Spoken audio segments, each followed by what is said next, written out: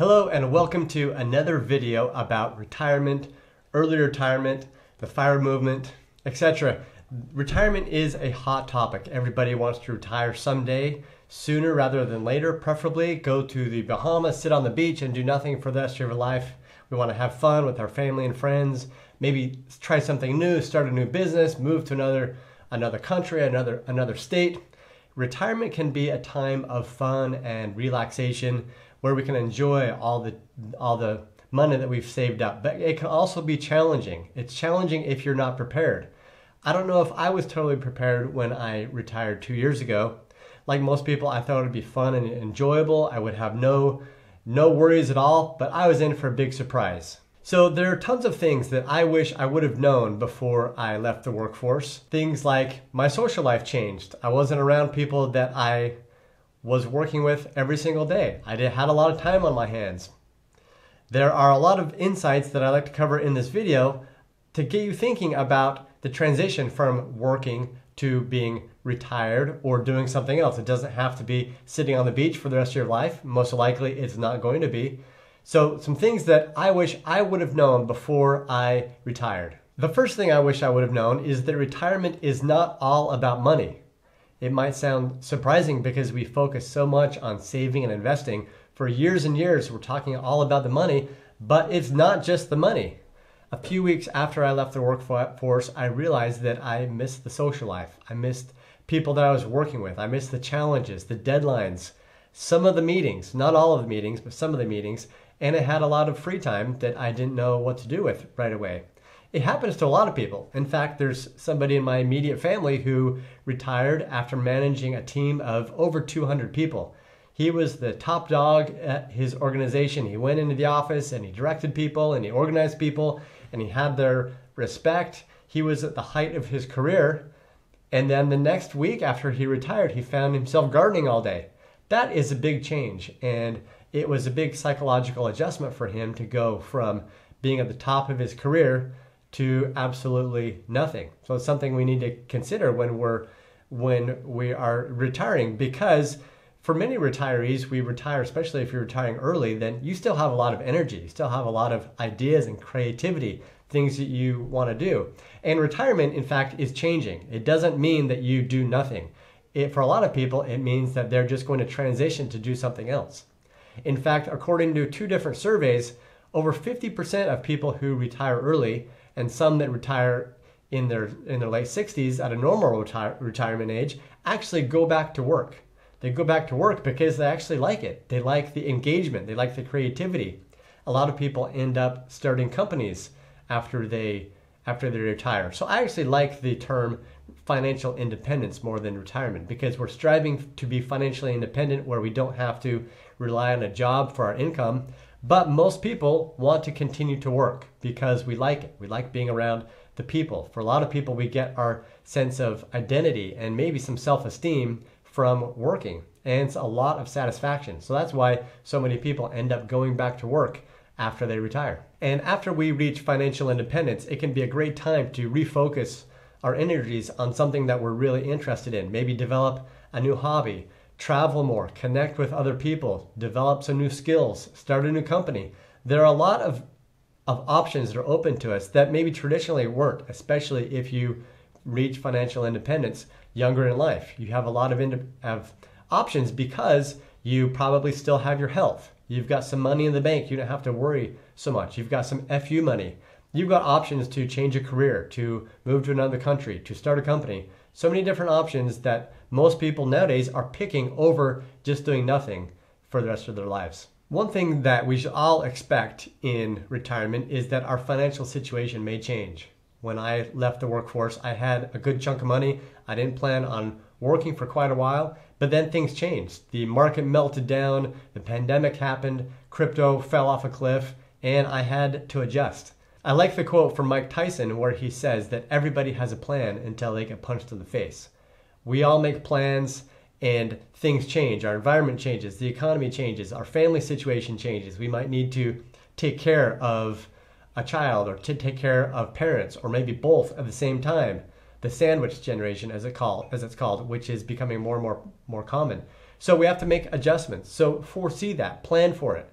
It might be difficult to plan for, maybe impossible, but maybe just plan for the unexpected, knowing that there is going to be something unexpected that is going is going to is going to change. So make sure you have enough money set aside for those plans and be open to alternative work. Be open to working a side job or taking part-time work or doing something to help uh, augment your income in retirement. Number three is that retirement is a process. It's not a set date. We can ease into retirement. We can, there are a lot of different options for retirement. We can take a few months off and go travel and then come back to work, move to a different country, cut back from full time to part time. It's a process that we think of it as easing out of the workforce, and you might come back and you might go out and you might come back, especially as careers for people tend to get longer and longer. The Wall Street Journal came out with a piece about how the our average career could be 60 years in the near future because people are living longer, they're being healthy longer. So people are changing careers. They may work 20 years in one field and then want to do something completely different. So they move to an entirely different field. And this is becoming more more more popular. So you might experience different stages of retirement. There's the honeymoon phase, the disenchantment phase, the reorientation phase, and the retirement routine phase. The honeymoon phase is when you stop working and everything is great. For a few weeks or a few months, you are resting, you're relaxing, you're you're not missing those meetings, you're not missing the people. Good riddance to all all of that because you are now retired and you can do whatever the heck you want. You can sleep in late, you can binge Netflix movies all night if you'd like to. You can stay out, stay out partying. You can do whatever you want. But that gets old. You can only do that so much, which is why the retirement phase doesn't typically last beyond six months.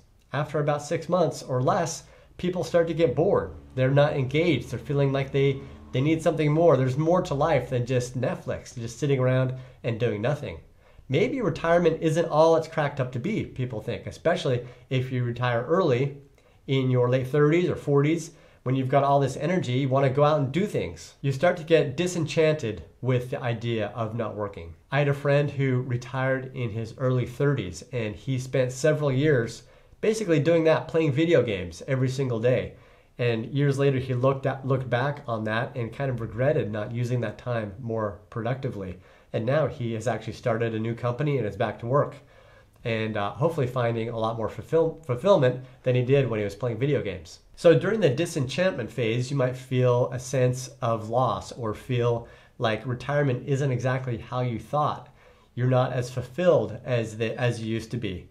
But this can be a good a good time to reassess your time, reassess if the things that you're doing are fitting your goals and your values and readjust with a new sense of purpose, with new goals and new energy. You can reinvigorate yourself to do continue to do things that you really like without the pressures of working for a paycheck. I was surprised how much I was still thinking about money and my career after I left my job. Uh, and that's one of the things that led me to create this channel is because part of my identity is as a found, uh, a company founder. It's a creator. It's somebody who's doing thing, a go-getter.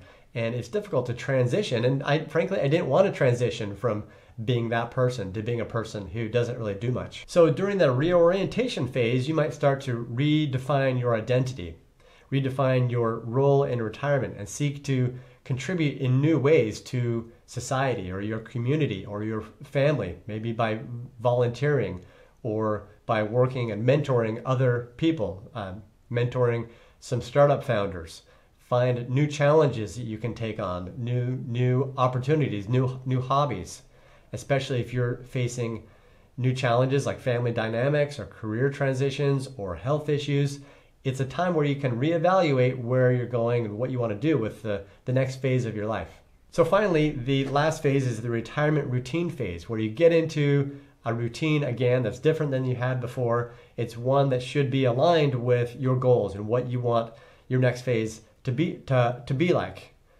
Um, it can still involve a lot of hard work because uh, early retirement doesn't necessarily mean you're going to not do any work. In fact, when I retired, I was surprised that I I, I thought when I was going to retire that I wouldn't have to think about money ever again, but I found myself thinking more and more about it and missing opportunities. Recently, I found out that I'm paying a lot more in health insurance than somebody else in my family because they're on top of it. And I qualify to pay a lot more, but I missed the deadline because I just haven't been thinking about money because I thought, well, I'm out of that. I don't really have to think about it. And I missed a big opportunity to cut down on, on some spending. So in retirement, you're still going to be thinking about money, which is why I say retirement is a process. It's a never ending process to budget and think about money and spending it wisely. It's not a date where once you pass that date, everything is great and you don't have to ever think about money again because that's not true. So this leads me to number four. Retirement can be both rewarding but also very challenging. It can be rewarding because now you get to spend time doing what you want to do. Spend your time how you want to because you don't have that pressure of having to work, maybe do things you don't want to do because you need the money.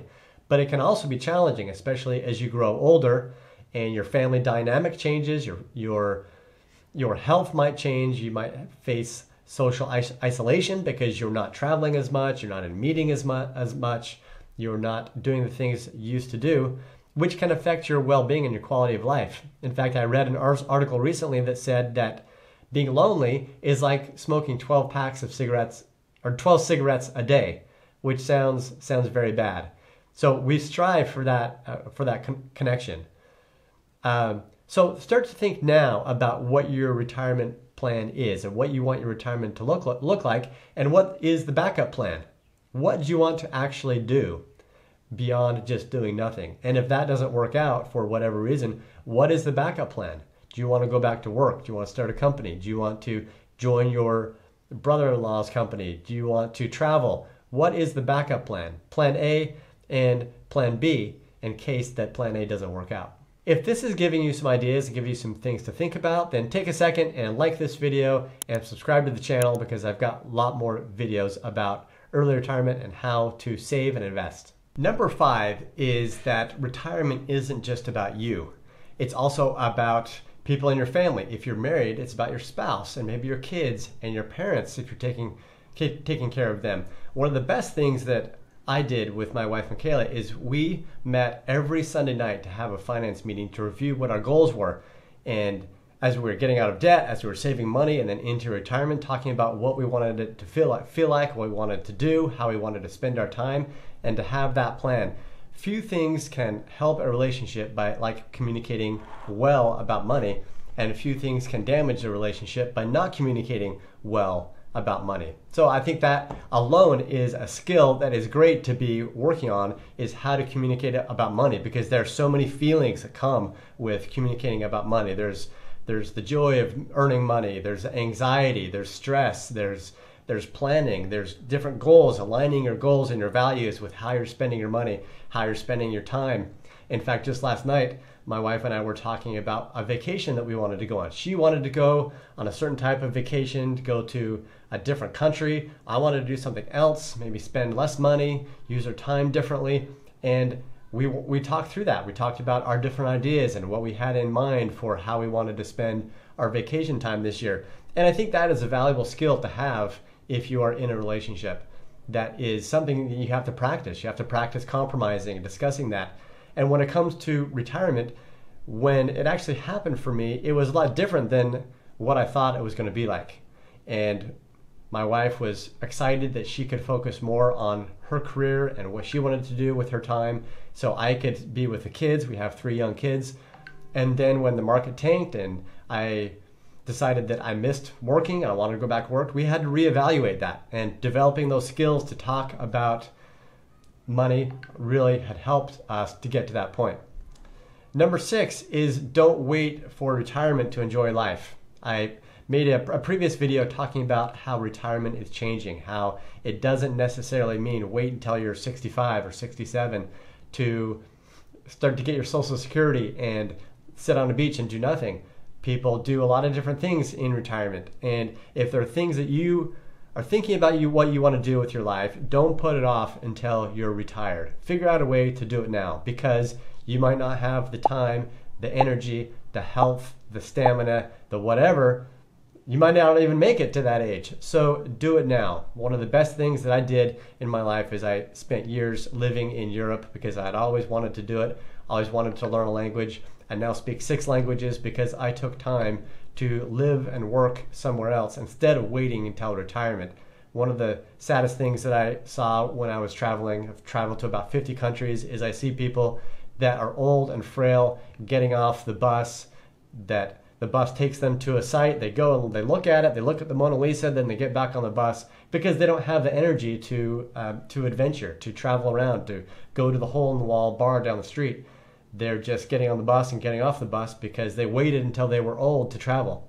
So for things you want to do, whether it's traveling, it's learning how to dance, it's learning how to cook, whatever it is, uh, do it do it now and don't save it until until retirement because retirement may never come in your later age and it might be totally different than what you think it's going to look like. So these are the six things I wished I had thought more about or known when I retired early.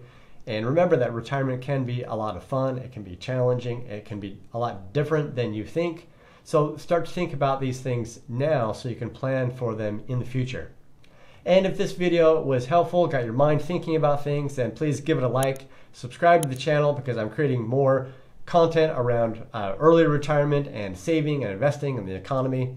And also, if you want to stay up to date on what's happening in the economy and tips to improve your financial situation, subscribe to the newsletter, link down below, and go or go to morningdownload.com. I write a newsletter every day about what's happening in the market and how you can take advantage of it.